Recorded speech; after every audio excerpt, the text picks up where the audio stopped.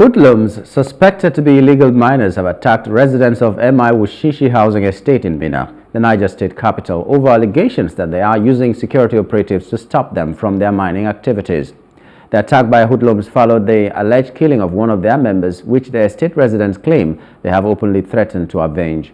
Sources said at about 11 a.m. on Monday morning, September 2, 2024, residents of the over 500 housing units at the MI Wushishi housing estate located within Minna Metropolis, Niger State on Eastern Bypass Road were attacked by some hoodlums suspected to be illegal miners.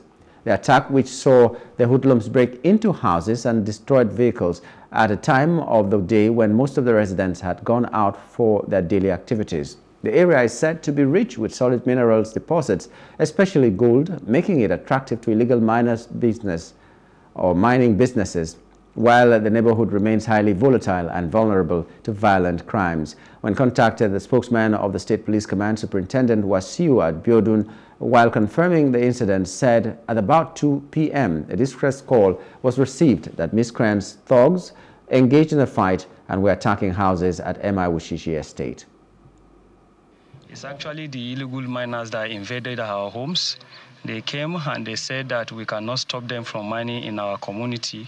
And as such, because we've been putting up a communal or community effort in trying to stop them from mining the front of our houses and uh, domain, they decided to come back and take it uh, up on us.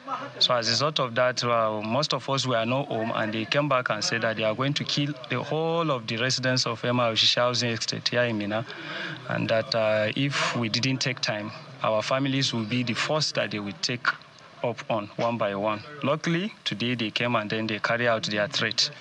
This issue of security challenge has been a thing that we have been battling with for quite some times now. And uh, just since uh, last week, it became a, more serious matter of concern because of the attitude of the gold miners that have been trooping through this street on and off, day and night, morning, evening. No, they don't have regard to time. So when I came home, I saw my my windows are broken. So I called my that? I said he saw two guys coming inside. One was holding cutlass, and the other one was holding stone. They started breaking the glasses. He now started telling them, "Young Kuri, young Kuri." He said, "There's nothing like that. That they are that they are going to revenge." So that was what happened. So actually, I don't know what happened, but when I got to the gate, I saw the policeman. His body was wet. He, he was washing his legs. I, I said, "Okay, I don't know what is happening." Not until my neighbor called and said they have entered my compound, that they have destroyed things in my house.